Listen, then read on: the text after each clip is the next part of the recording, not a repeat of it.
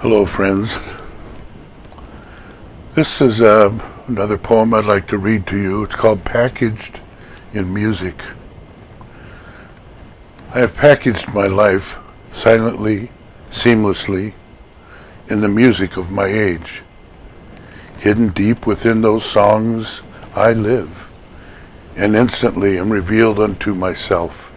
The moment a chord is struck, there within, ageless, chiseled in eternity, all of the emotion, the weight, the angst and sorrow, the hunger, the peace, the joy and love, such sweet love.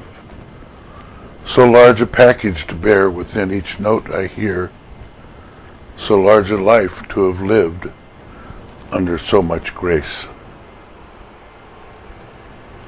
Thank you.